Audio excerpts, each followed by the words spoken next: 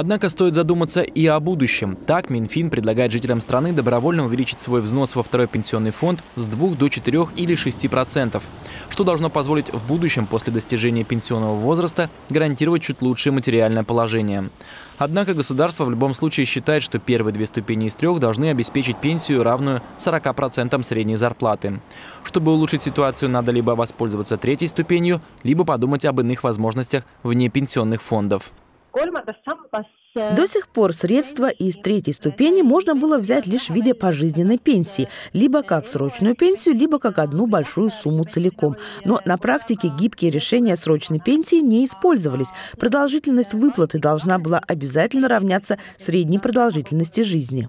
Использовать средства, накопленные в третьей ступени, можно по-разному. Каждый принимает решение сам, в том числе и с учетом общей накопленной суммы.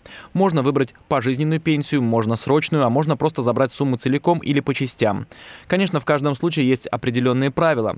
Третьей ступенью можно распоряжаться достаточно гибко, но иногда придется выплатить 10% налогов.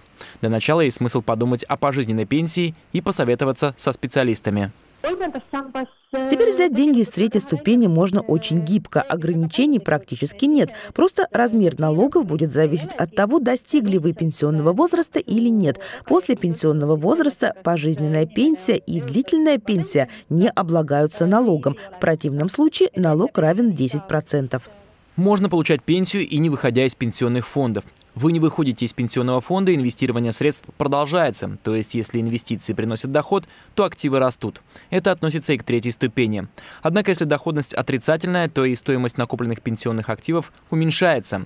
Пожизненная пенсия будет выплачиваться всегда и не облагается подоходным налогом. Выплаты по срочной пенсии закончатся, когда накопленная сумма будет исчерпана. Надо выбирать между меньшей пенсией, но с более продолжительным сроком, или большей пенсией, но с более коротким сроком.